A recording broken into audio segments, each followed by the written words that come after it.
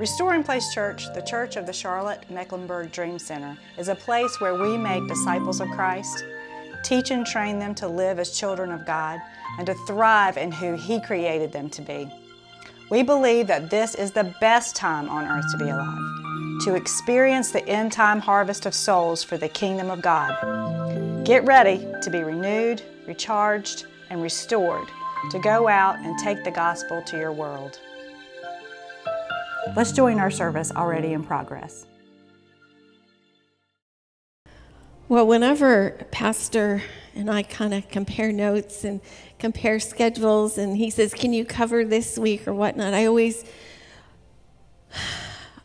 I always go to the Lord in prayer and say, Okay, God, the Bible's full of revelation. I could read the maps and we would be blessed, right?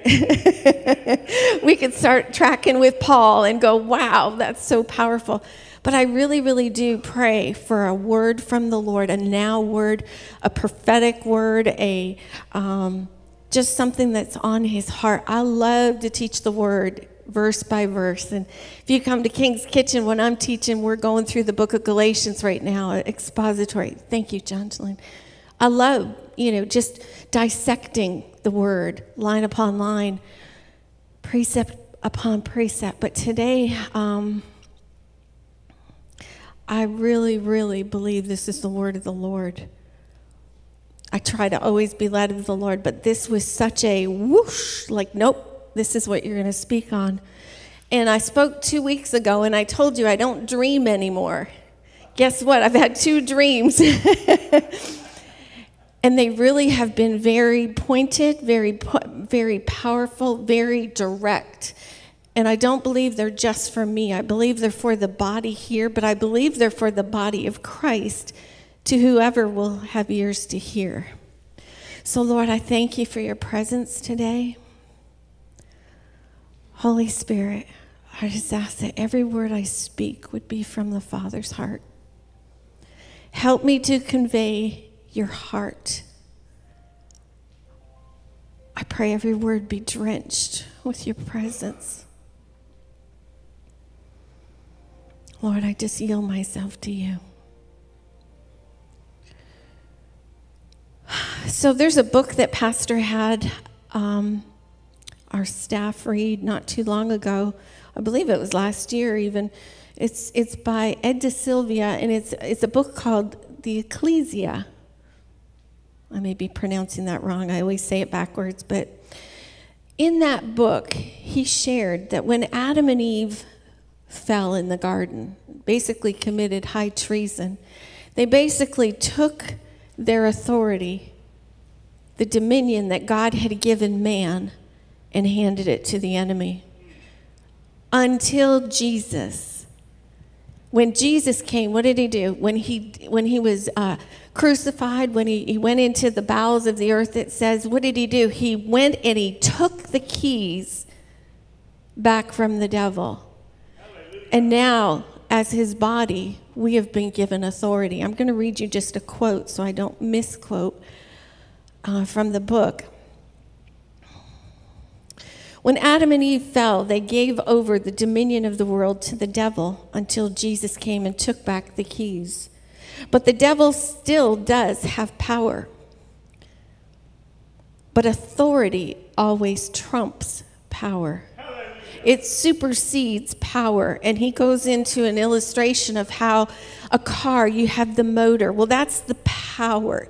But if you don't turn the ignition and the steering, that's where the authority is. You can have power, but authority is above power. Without authority, you're trespassing. You have no. Uh, you have no right to operate in that power. And so then he goes on in the book, it says, Jesus, who is the King of Kings, has invested his ecclesia with the highest level of authority imaginable. And he divined the target of his authority very precisely to us the gates of hell.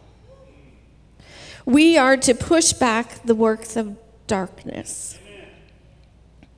Jesus came to destroy the works of the devil. He came to reveal the Father's heart. He came to redeem man back into relationship with the Father. But one of his primary th- things was to destroy the works of the enemy. I believe that there's coming an awakening on this earth to the church, but I'm going to confess. Now, I, am going to just back up a little bit. Everything I say today is not directed at you. It is hitting me as much as whoever will hear it. So please don't take this as a condemning word.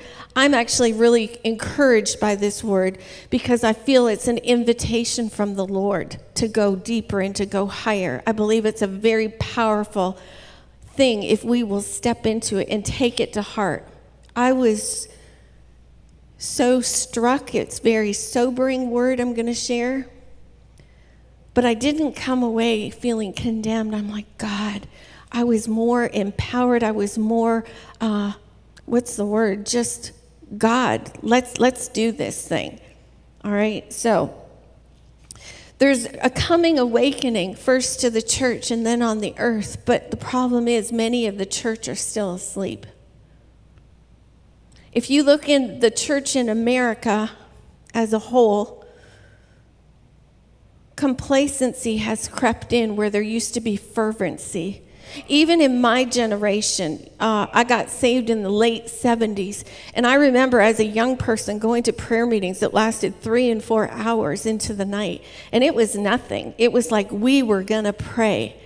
And I fear now that uh, complacency, um, comfort has become an idol convenience has become an idol we'll, we'll come and pray for a little bit but don't, don't go overboard you know i've heard a, a, a saying that you know on sunday morning you see who how popular the pastor is but when it's prayer you find out how popular jesus is that's not to condemn anybody but it is a truth the prayer meetings are usually the smallest meetings in the church.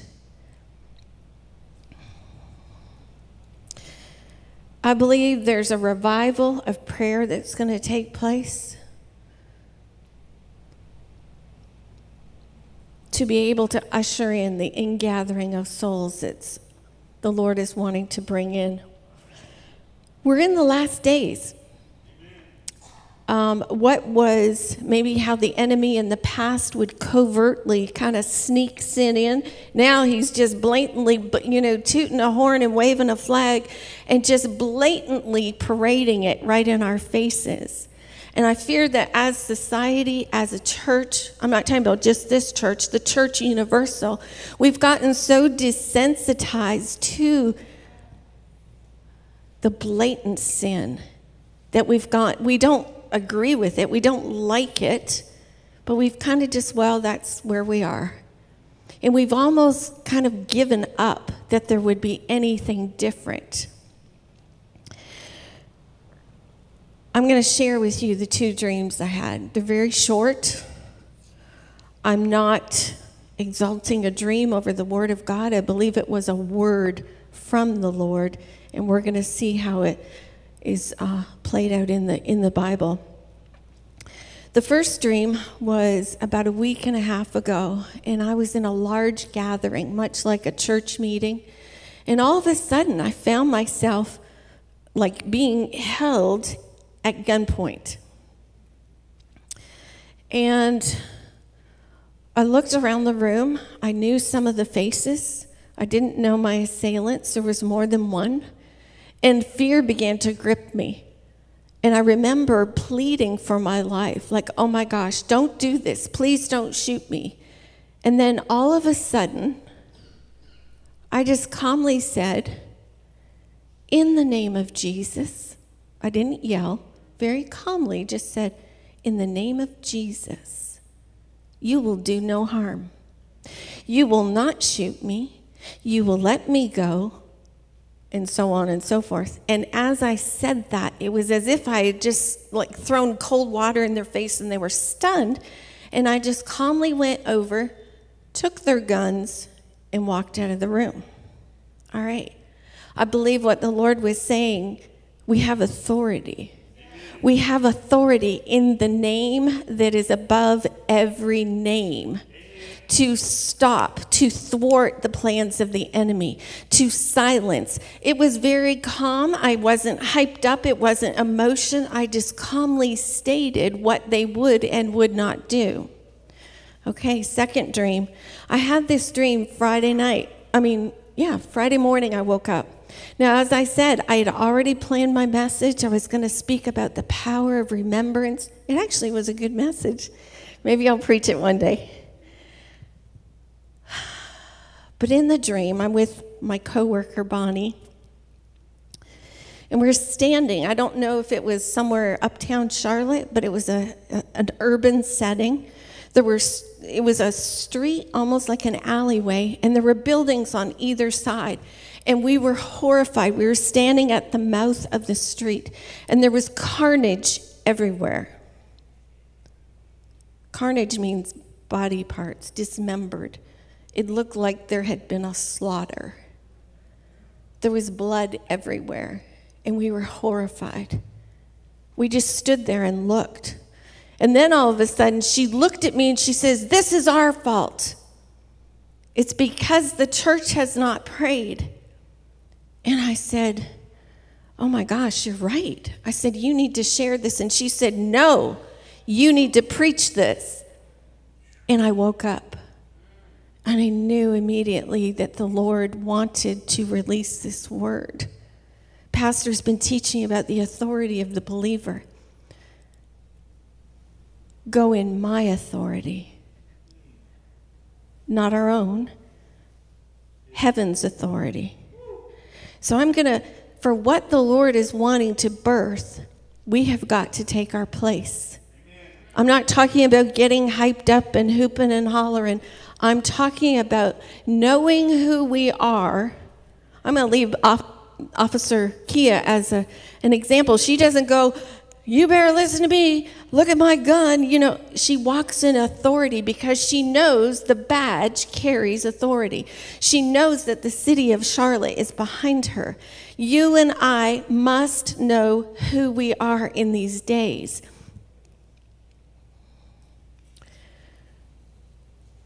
I want to look at Isaiah 60, 1 and 2. It's a, a very common scripture. Pastor always, anytime I preach, he's so encouraging. He always sends me this text with this verse.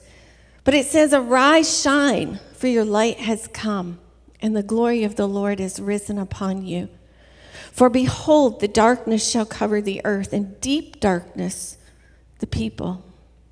But the Lord will arise over you, and his glory will be seen upon you. I believe that there's a timeline in Scripture. There's stuff that just has to take place for Jesus to come back. We cannot expect to create a utopia and just, you know, well, it's just going to be heaven on earth. We're to, in the midst of the darkness, release the kingdom. In the midst of gross darkness, shine brighter than we've ever shone because the glory of the Lord will be our covering. It'll be just like in the garden. We'll be clothed in that glory, we'll be insulated in that glory.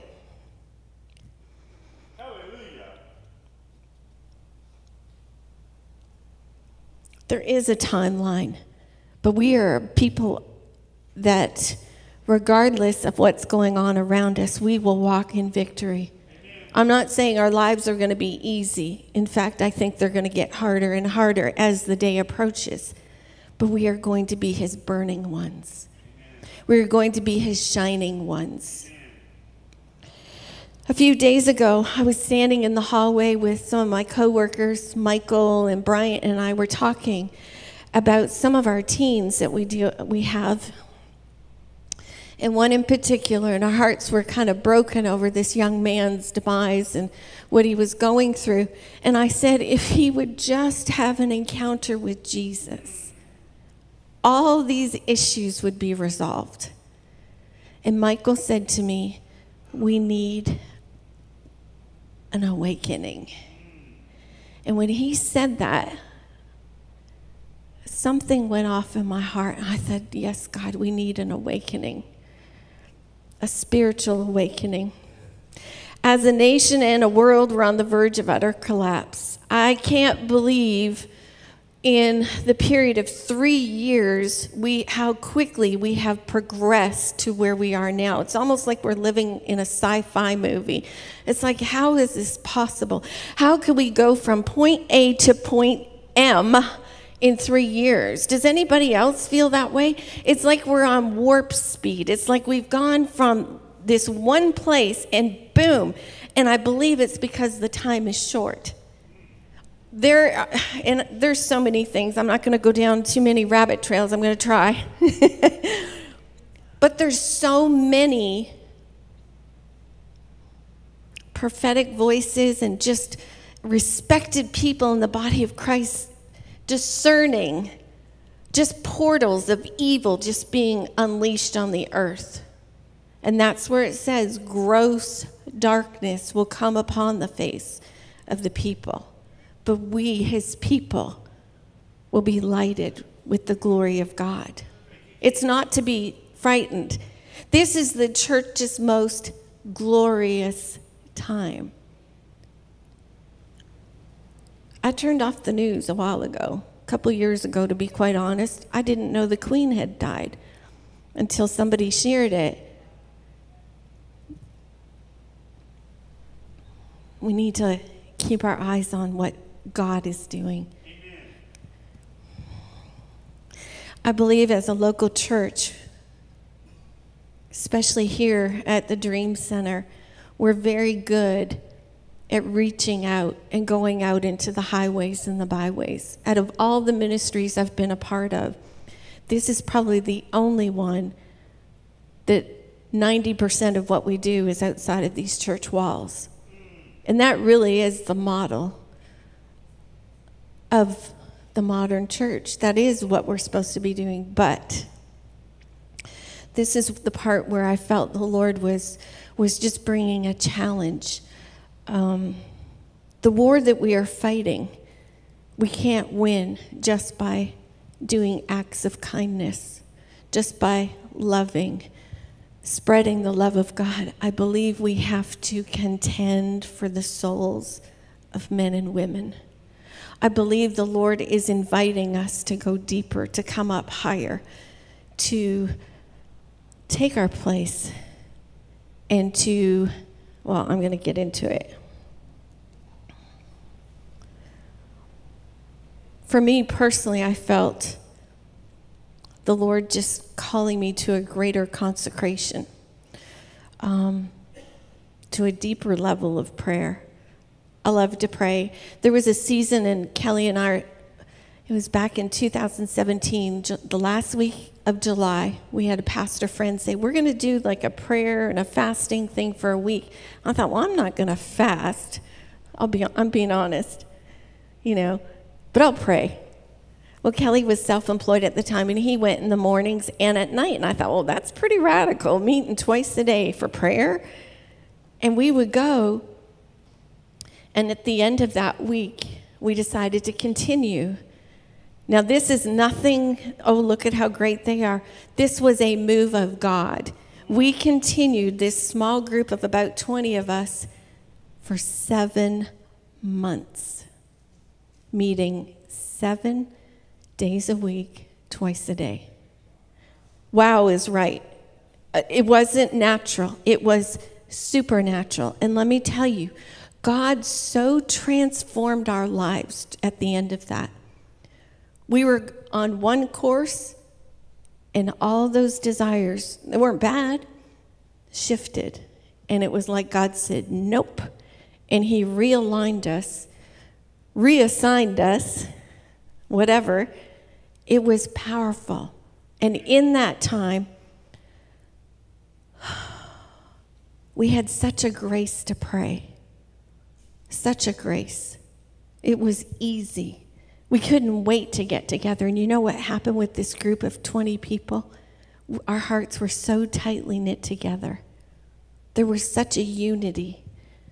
Things began to happen. Prophetic utterances began to come forth. The Lord began to show us things and strategies how to pray. And we'd pray and it would come to pass. Why? Because there was unity We are setting ourselves aside to pray. But again, that can't be anything done in the flesh. Anything you and I do. Now, let me back up. It's good to discipline our flesh because our flesh will never want to do what God wants. But if we're trying to do something from a religious mindset, well, I'm going to do, I'm going to pray for five hours today just to be religious or to prove to God that I love Him, that's religion. It's my attempt to get in God's good favor or to prove something to Him. It has to be a motivation of the Spirit, and then we walk in obedience to it. Do you see the difference? Luke 18, verse 1 says, Men ought always to pray and faint not. There's a thing that we used to call in, in the old times or whatever prevailing prayer. Have you ever heard of that? Prevailing. Prevailing means you don't just say a prayer and go, okay, it's done. Now, I believe you can believe in faith it's done, but then there's a place of prayer we step into that's prevailing prayer. You prevail, you tarry, you wait. Have you ever heard, I'm going to pray through? That used to be a term when I got saved. It's like you didn't, you came to the altar and it was like, God, I got to do business with you. But sometimes a one sentence prayer didn't do it. You had to, you had to pray through. I know in my own life, my son, there was a time he was going through a terrible time. And one night we both woke up and he was on our hearts. I think it was like two or three in the morning. We got up and I began to pray for him, but it wasn't like, God, touch my son. I began to weep and it wasn't out of panic. It wasn't out of, oh, I'm so sad. It was a travailing, it was a prevailing prayer. God, my son needs you. Lord, step in, put people in his path. He needs a breakthrough. Prevailing prayer is so much different than we're going to just pray.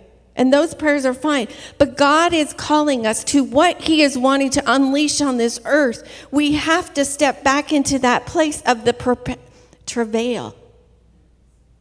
For those of you that have had babies, there's a period of transition where it's like, oh my gosh, right at the very end, before that baby is brought forth, it is work.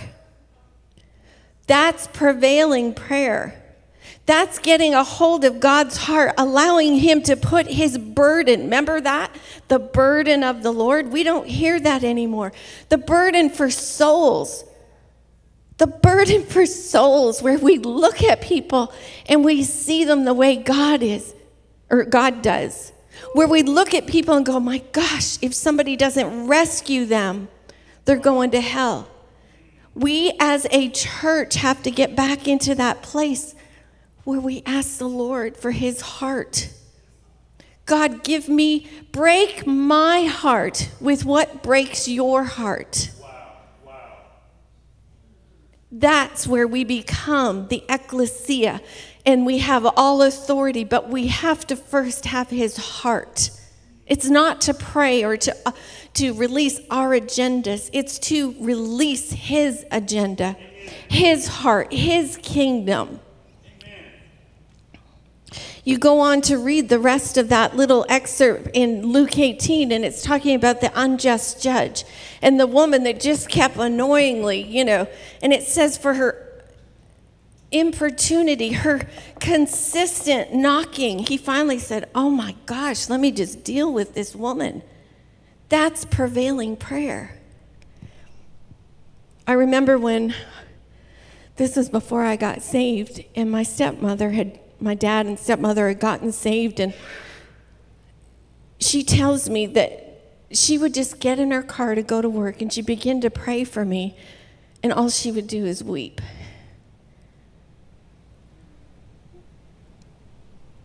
That's prevailing prayer. That's travailing for the souls of men. That's allowing God. You know, sometimes prayer doesn't have to be English. It can be tears, it can be groanings. It says the Spirit will give you utterance. She would just pray in the Spirit and weep and weep.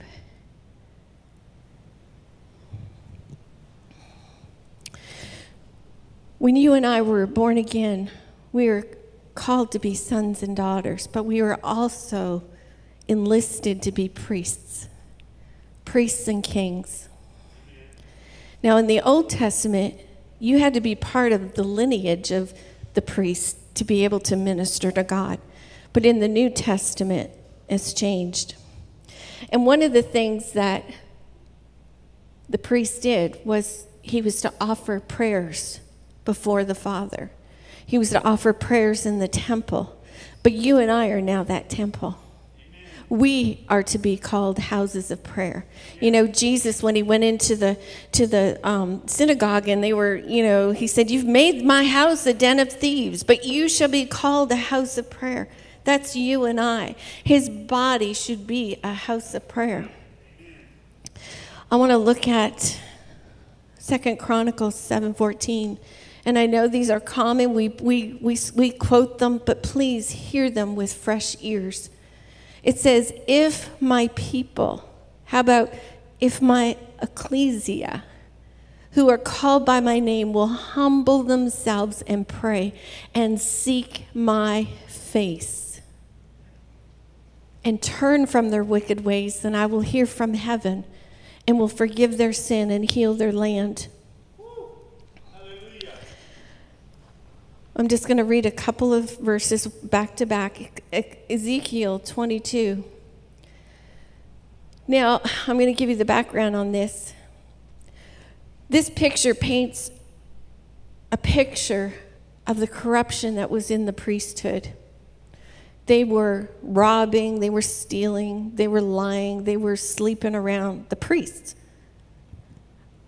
I wonder if the church universal is in that state. Only God knows. But I believe we've fallen from a standard of holiness that we once held dear.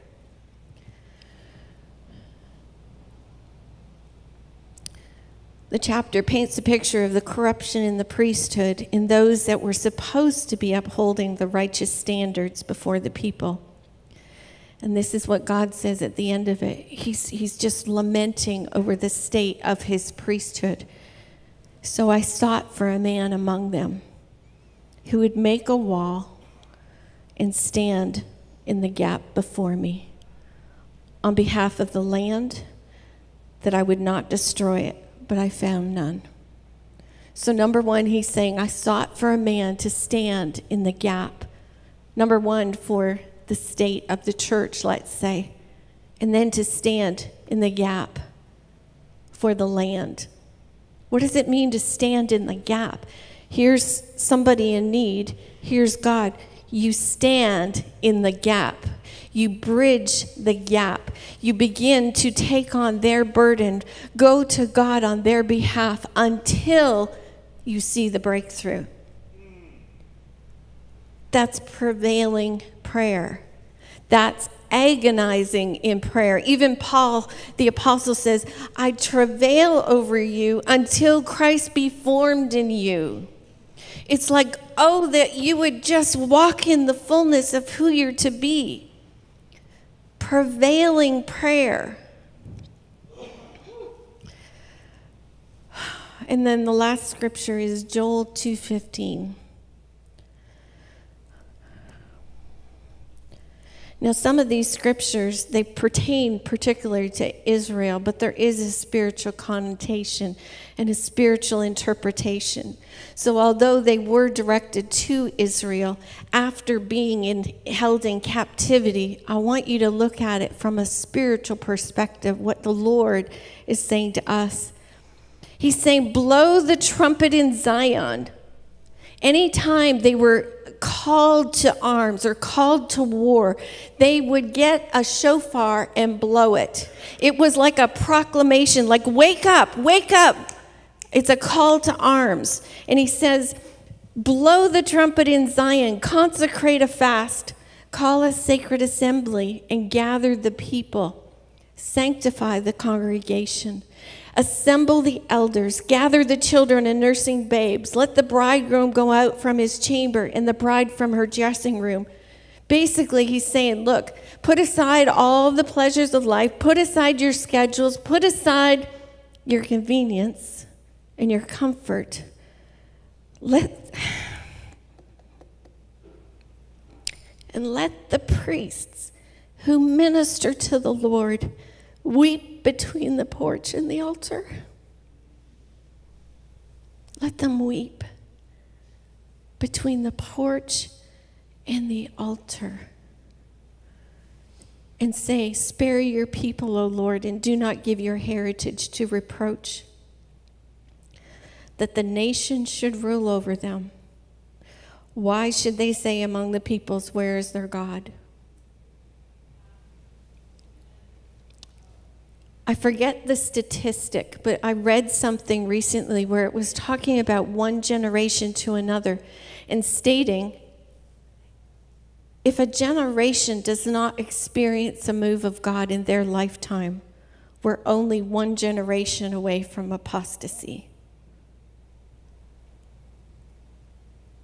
Our generation right now, this current generation of young people, if they don't have a true encounter with God, we're in trouble.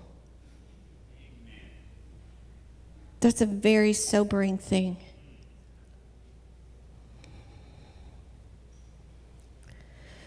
We, the people of God, His kingdom of priests. How many priests? If you're born again, you're a priest. We, His people, must answer the call to stand for the church that's still asleep. Number one. And then this generation of youth that has never experienced a move of God. Will we stand between the porch and the altar. That speaks to me of standing before the Lord. We're in church, we're in the glory, we're, oh, this is great. But then we're not afraid to go to the porch and outward. Will we stand in the gap? Will we weep for those that have not experienced the goodness of God? In my conversation with Michael, oh, let me back up. I think what happens, this happens to me, maybe it, it, bears witness with you. You look at all the state of the earth, you look at the, even Charlotte, the, the brief time that I've lived here, it seems like it's more and more liberal, it's more and more sinful, it's more and more, it's just more. And it gets discouraging, and you think, God, what can be done? Look at Nineveh. Look at Nineveh. Jonah prayed. He preached the message of repentance, and in a day, a whole nation turned. But we look at that and go, well, that's impossible. That could never happen here. I'm going to read you something that's going to get you stirred up, build your faith to believe in that. So, in my conversation with Michael earlier, when he said, you know, we need a spiritual awakening, he recently learned about the Moravians. Anybody know about the Moravians? They had a prayer movement, again, God birthed, where they came together 24 7. Now, this is this will blow your mind for a hundred years. They had such a heritage of being prayers and priests before the Lord. But out of that place, they went past just the altar. They went to the porch. They, they interceded and they sent out missionaries. And this is how they did it. They got in boats. I've read accounts of missionaries being sent out from their little camp in Moravia, Germany, I believe it is. There was one man in particular, he was engaged to be married but he felt the call to be a missionary. I'm trying to get my facts straight. Wasn't planning on sharing this, so I want to tell it accurately. They got in the boat, and how they decided where they were going to evangelize was they put up their sail and they just let the Lord take them wherever they went and they basically waved to their loved ones on, this, on the pier, knowing that they would never see them again. This one account of two such, it was two, I don't know if they were brothers or just friends. They landed on an island and they were uh, um, a company of slaves. And they had such a burden to minister to those that were held as, as slaves. They said, How can we possibly get into the camps and be able to, to minister to them? And they decided to sell themselves into slavery so that they could be in the camp and minister. That's like unheard of. That's how radical they were. Revival or awakening, we coined that phrase and we think, oh, that's a powerful meeting. I'm going to read you something.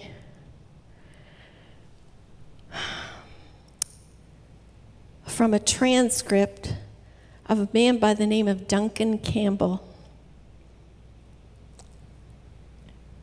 He was part of a move of God in the Hebrides. I challenge you to look him up, to look up the history of the Hebrides revival because it will, it will rock you to your core. Kelly and I heard a transcript, an audio um, of him as an old man retelling, and we just wept and wept and wept. But let me read a part of it. He went to the Hebrides. It's over in the Isle of Lewis, off in the somewhere in Ireland, all in that little, you know, all those little islands. And he was invited to come preach. And what had happened was the pastor of the parish, he felt like, you know, we need to really start to take to prayer and find out why the church is in such decline. And there was a small number of people that banded together and began to pray. But in particular, two sisters. One was 82 and one was 84. And the one that was 84 was blind. And they began to pray. They prayed day and night and just began to prevail in prayer. And they got a visitation from the Lord. They got a vision from the Lord. And they went to the pastor and they said, Pastor, we have seen a coming revival of young people. Now, at the time, their church had this many young people. It was old, you know, white haired grannies and whatever. And the church was basically dead. But they continued to pray and cry out for what they have seen. That's the part of getting into that place of prayer and seeing in the Spirit what God is wanting to birth and then partnering with Him. All right, let me read this to you. This is an excerpt of what he said. And this is Duncan Campbell. And he said, First, let me tell you what I mean by revival. An evangelistic campaign or special meeting is not revival. In a successful evangelistic campaign or, campaign or crusade, there will be hundreds, even thousands of people making decisions for Christ, but the community remains the same and the churches continue much the same as before the outreach. In revival, God moves into the district. Suddenly, the community becomes God conscious. The Spirit of God grips men and women in such a way that even work is given up as people give themselves to waiting upon God. In the midst of the Lewis Awakening, the parish ministers at Barvas wrote, the Spirit of God was resting wonderfully on the different townships of the region. His presence was in the homes of the people, on meadow and moorland, and even the public roads. This presence of God is the supreme characteristic of a God sent revival. Can a nation be changed in a day?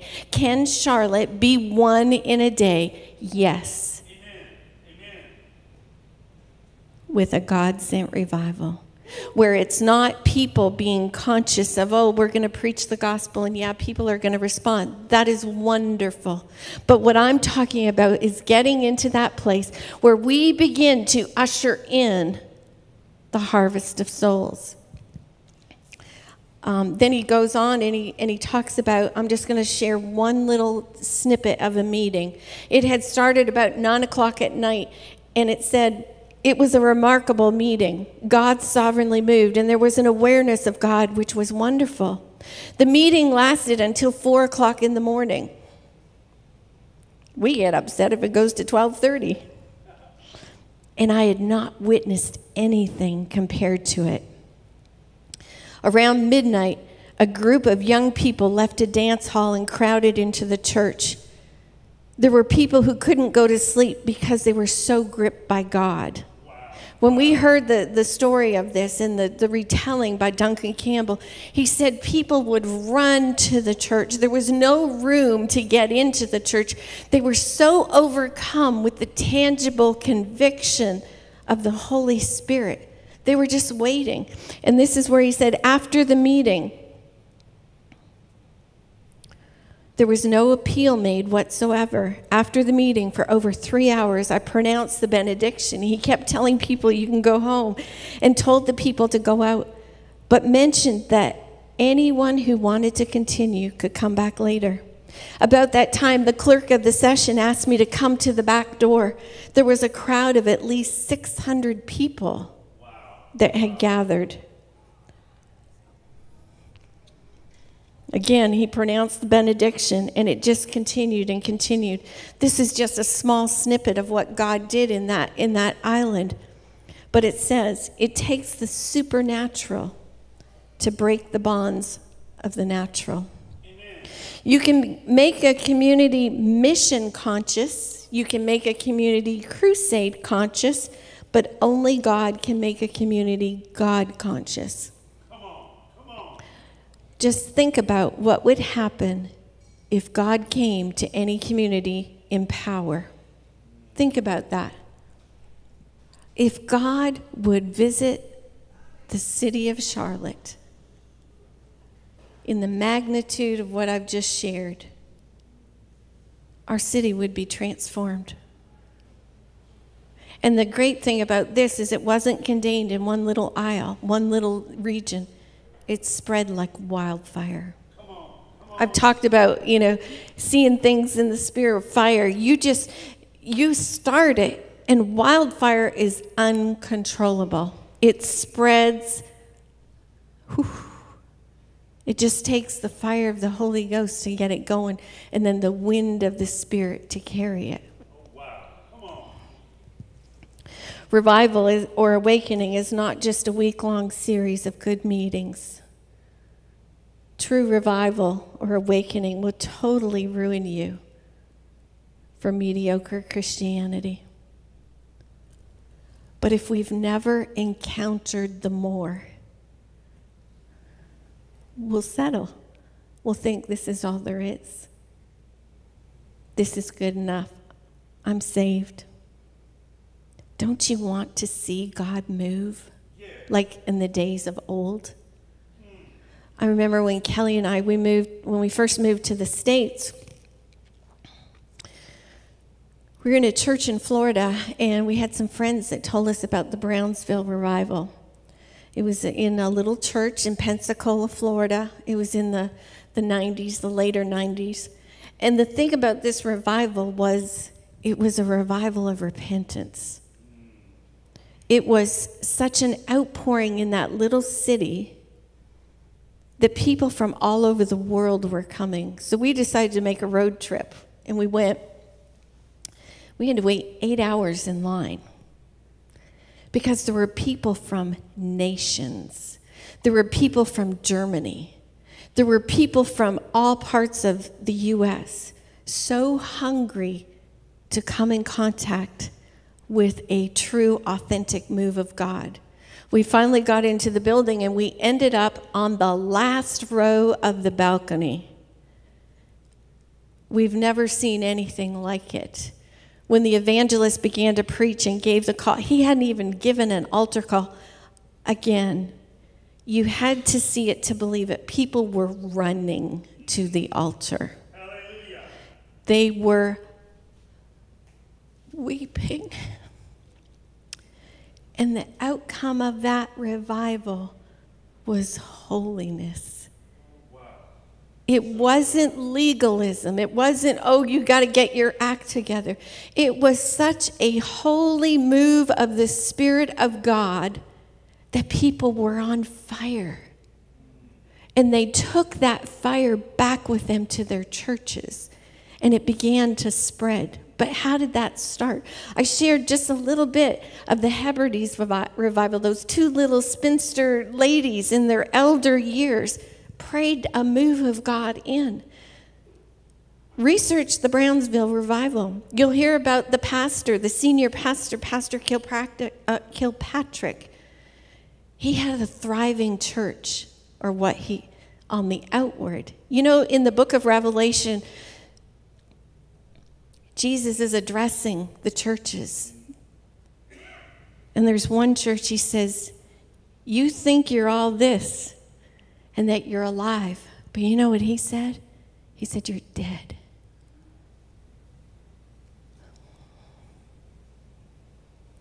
I'm not talking about being overly, you know, inward and, oh God, am I okay? Am I doing right? And being self examining all the time. But sometimes we need to be brave enough to say, God, where am I? Am I where I need to be? He said, Go back and do the former things so that you return to your first love. I remember when I first got saved, man, I was a Jesus freak. I got stuff written on my locker at school, Jesus freak, you know. I was so in love with him. I did whatever I could to be with him, to be at his feet, to worship, to pray. And through the years, I got educated and I got to be a good Christian and kind of lost some of that zeal. He's saying, come back to that place. But this pastor, how this move of God was birthed, from the outward, it looked like a, you know, it was just a basic, I guess it was a Pentecostal church or Church of God, I'm not even sure, or assemblies. They had a big, you know, membership. But he, he tells the story. I've heard him on many, many different interviews where he would just, Saturday night, lights off. He's the only one in the church building. He's just walking. He's crying out at the top of his lungs, God, we've got to have you. Now, he was born again, but he knew there was more. He knew there was something God wanted to birth in his city, in and through that place. He wasn't satisfied with mediocre Christianity. He wanted to encounter the fire of God. He began to cry out. I don't, I don't remember how many months or whatever. It wasn't a quick answer. Because what is God calling us into? That place of prevailing prayer. We're so, so conditioned to instant Christianity. Oh, microwave. Oh, you go through the drive through. Oh, they're taking too long. I'm going somewhere else. Instant. Instant. God says, Won't you tarry with me? Won't you wait in my presence? Won't you wait till you hear from heaven? Remember, I talked about the Shakers a couple of weeks ago. They would just sit in silence. They didn't have a wonderful worship team to take us into the heavenlies. They just sat and they refused to move until they felt the stirring of the Spirit.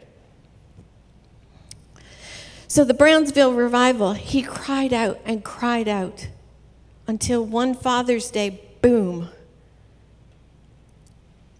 And there's a story, you can look it up. The evangelist was speaking, and the pulpit split in two. wow. Wow. That would get your attention. That was a supernatural move of God that went on, and I don't know how many years, but it went on several years and countless millions got saved, got baptized, ran to the altars in repentance, got their lives straightened out. That's how we ended up in North Carolina. God spoke to Kelly in one of the services, and he says, Will you go where I tell you to go? Will you ride with me?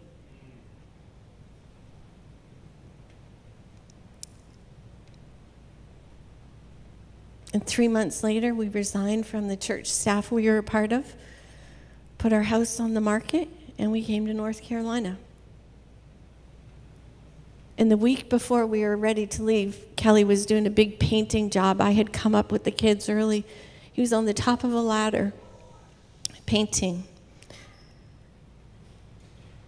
And he heard the Lord say, You're going to see revival come down like rain. You're going to see people healed, delivered, saved. We haven't seen it yet, but it's coming. We're in a spiritual battle. We've already won the victory, right? We're already positioned from a place of victory because we are in Him. Where are we seated? We're seated in heavenly places, but we must take our, our place on the wall and we have to take our authority over the works of the enemy. When you're in a war, what do you need? You need to take up your weapons, right? You need to take up everything that God's given us. Our weapons aren't carnal, but they're mighty through God. Mighty. A couple of Wednesdays ago, we were in prayer, and I was just praying for the harvest. You know, that scripture, especially the Passion Translation, it says the harvest is heavy and ripe, it's plenteous, but there's not enough people to bring it in. And Pastor has shared before his farming background. If you don't bring in the harvest at the right time, it's going to rot on the vine. There are people waiting for you and I. But this is what I saw. In the spirit, I saw wheat about this high. And wheat speaks of souls. And I saw a sickle. I had a sickle in my hand, and all of us were just going whoo, whoo, whoo, as we walked. We were reaping the harvest, reaping the souls. It says the harvest is white but you have to have eyes to see it. How many times we get so in our own little world, you're walking past people, I don't have time. My husband's a talker, and sometimes I get irritated. We'll go to Home Depot and he's in a 30 minute conversation. But a lot of times it's the Lord. And he begins to minister. I'm like, come on, let's get, let's get what we need and go.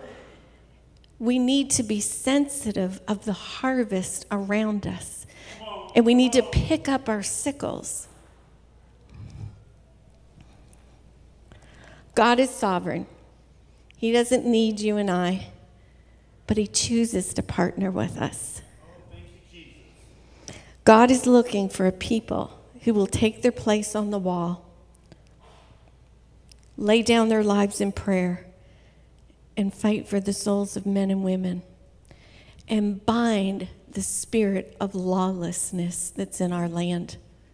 Like that dream I had, Bonnie was like, This is our fault.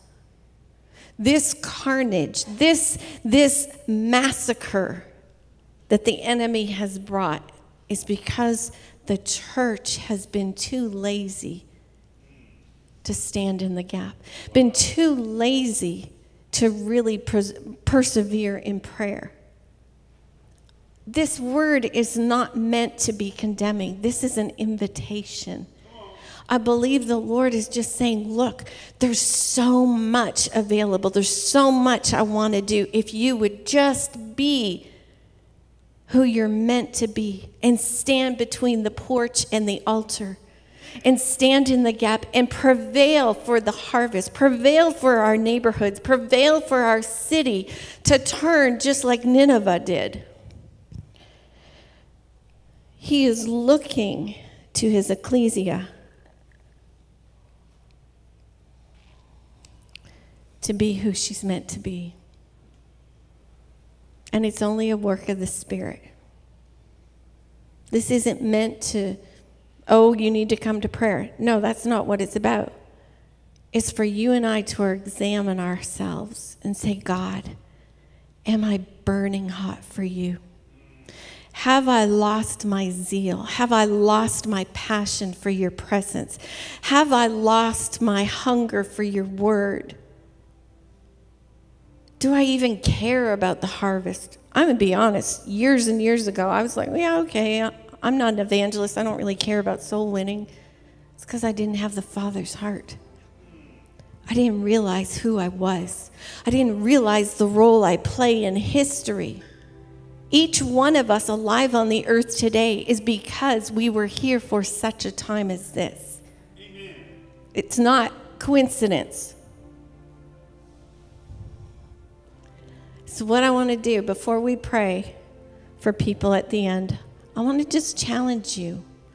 I don't want a response from you. I believe we're coming into the days of the church like Ananias and Sapphira.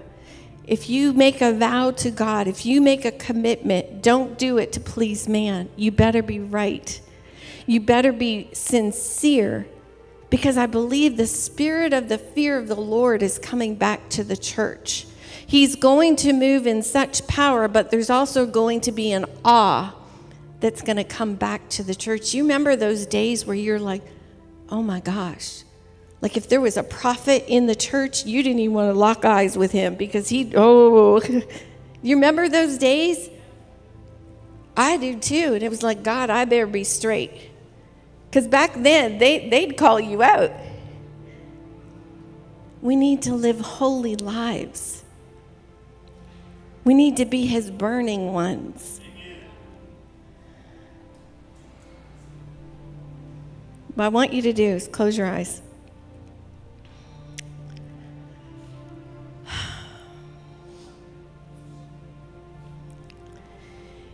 if you have felt the Lord challenging you to answer the call to step into that place on the wall, and you're saying, God, I repent of my complacency. I repent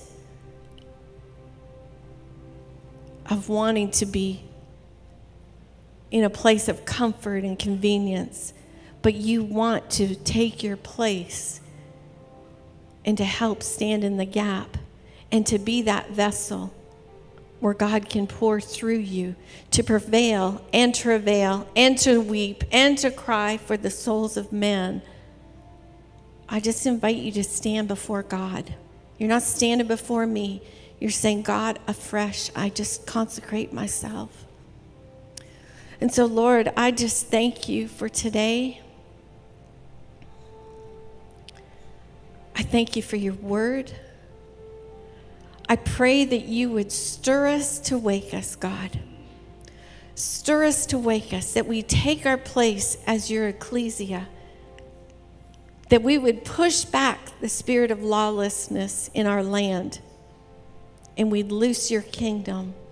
And God, most of all, I pray for your heart your heart for the lost, the heart, your heart for the broken, your heart for the, the, the person that's downtrodden. God, that we would pay the price. And just like in the Hebrides and the Brownsville revivals, Lord, that we would pay the price in prayer and usher in this last move of God that you're wanting to birth in the earth.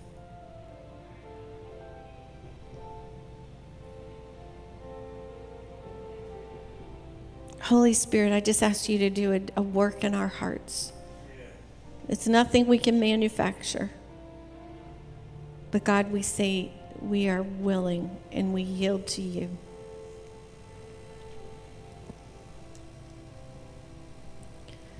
So, Lord, I thank you for each one in the room today. I thank you, you know them by name, you know them by heart. You've engraved them on the palm of your hand. And God, I pray that you'd meet every need.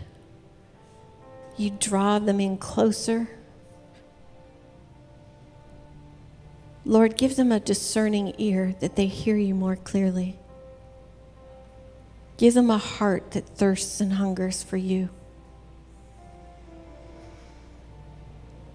I thank you, Lord, for the invitation to partner with you. And we just say thank you.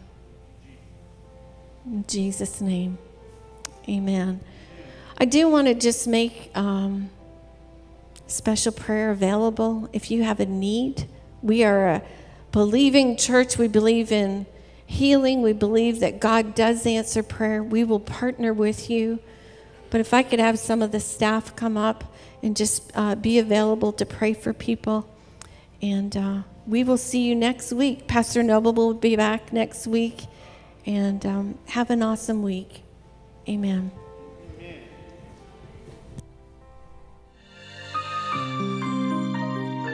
Thank you again for being our guest here on The Voice of Healing. When you're in Charlotte, North Carolina, join us for our 10 a.m. Sunday morning service. Our website, restoringplace.org, has all the details on how to find us. While you're on our site, check out ways you can volunteer at the Dream Center. Need someone to answer questions about us or to pray with you 24 7? Call our prayer line at 704 904 9025.